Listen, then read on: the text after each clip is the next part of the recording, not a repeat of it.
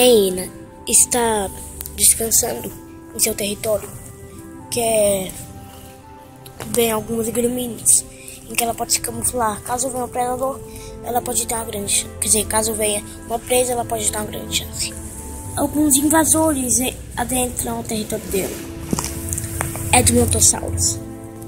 Estes animais vivem em conjunto, uns aos outros. Porque existem dois Edmontossauros. Um macho uma fêmea. Eles se alimentam de gramíneas, que é o que geralmente tem aqui neste local.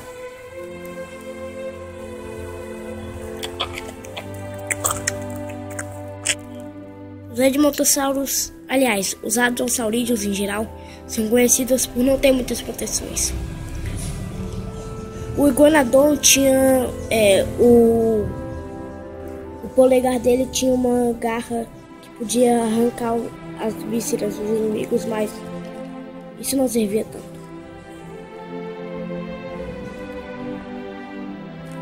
Poucos metros dali, o Trodonte está se alimentando de Hum, e outros estragossauro.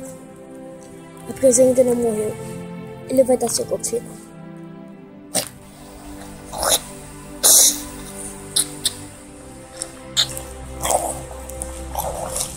Tudontes eram animais que viviam em grupo. Aliás, eles eram do grupo dos raptores, animais super inteligentes. E assim como todos os raptores, eles tinham uma garra terrível.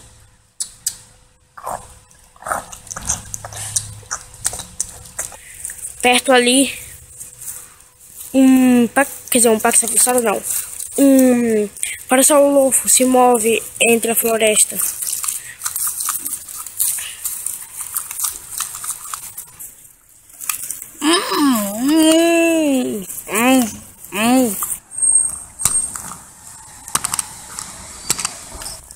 Passa perto da carcaça de Tiracossauro que este tudo está com os, hum, os parasaurofos também eram rabiosaurídeos.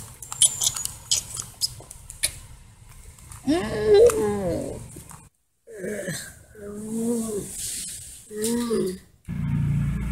Enquanto isso, Anne acorda.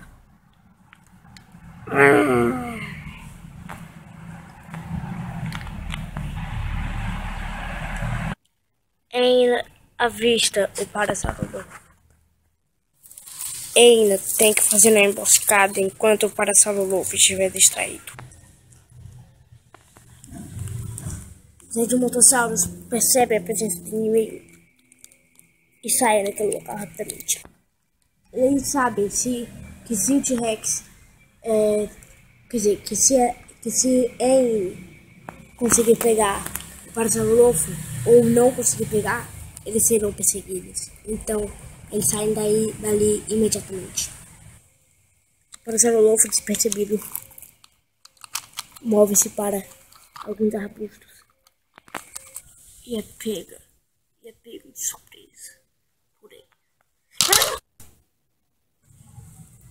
Ele mata. Ele mata. Quer dizer, ela mata o Parasaurolobo.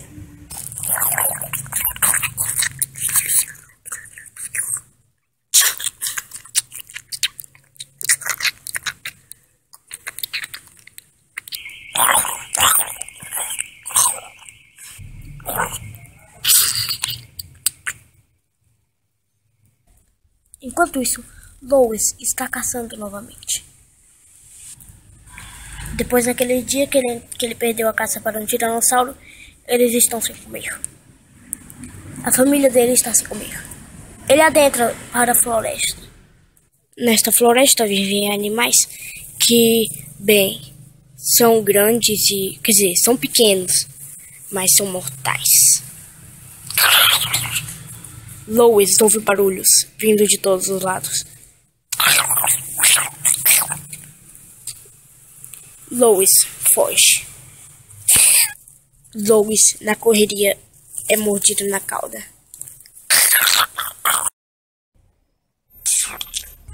Ele sai da floresta sangrando e em pranto. e dor. Essa criatura que atacou Lois é um Trudon. Bora chamar ele de. Bora chamar ele de.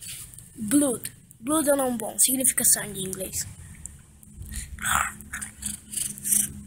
Ele adentra a floresta. Aliás, a flor... parte da floresta é território dele. Ele tem mais pessoas dentro de, dessa floresta. Mais pessoas não. Existem mais indivíduos é, da espécie Metrudon dentro dessa floresta. Ele adentra. Enquanto isso, os redontossauros estão tentando achar um território para eles.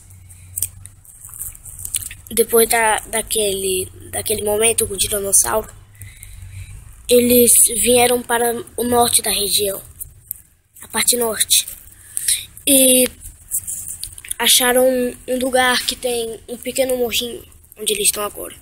O único problema desse lugar é que existem poucas gramíneas, poucas mesmo, como por exemplo essa daqui e aquela ali ao fundo. Aqui também é o campo de margaridas que vocês viram no último episódio. Mas este território já tem dono. Um paxefalossauro. Bora chamar ele de... Um, Hammer. Hammer significa martelo.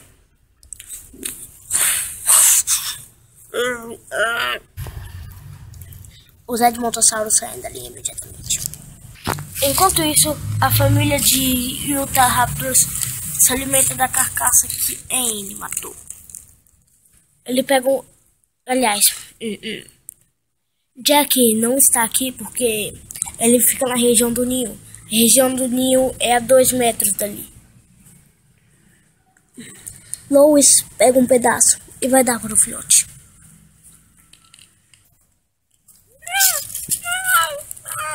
Esses animais precisam comer muito para crescer e chegar no tamanho adulto.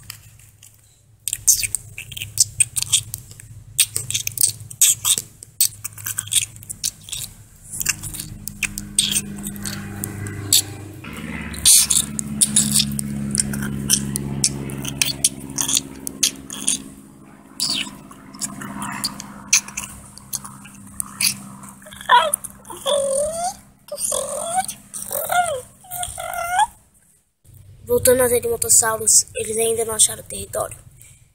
Eles acabaram de se locomover daqui, que é o território do Paxipalossauro, até estar onde aconteceu aquela luta entre. Aliás, não foi muito bem uma luta.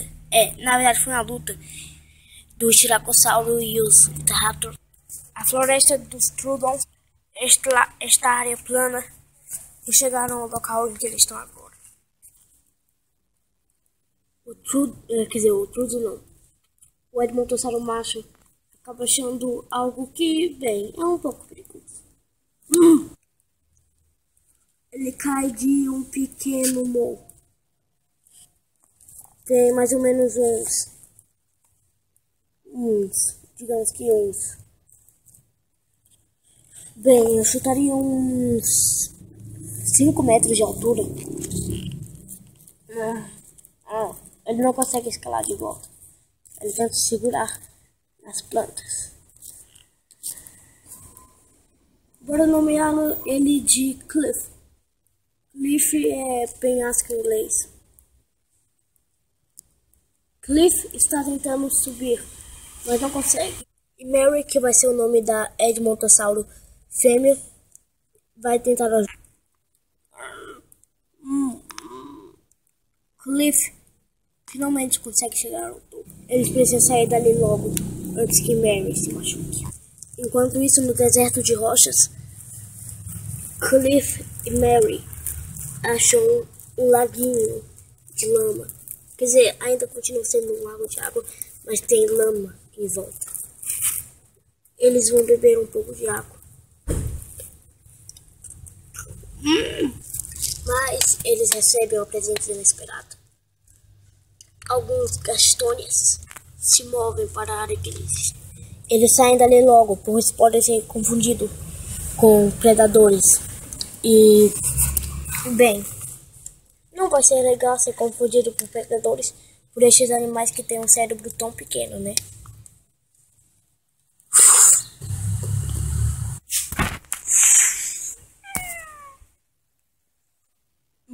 Um quadril sobrevoa a parte seca. Uma parte seca da floresta. Um deserto, praticamente. Após passar pelo deserto, o quadril pousa em um laguinho. Um laguinho pequeno, mas pode se beber.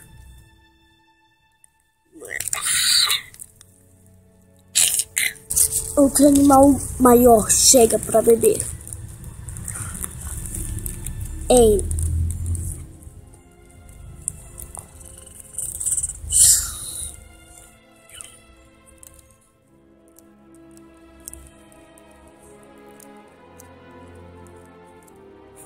mas algo de terrível acontece.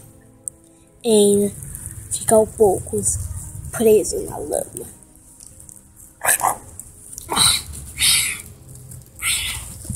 Ela consegue sair, mas ela é tão surpresa que alegra. Mas o quatro também fica preso na lama.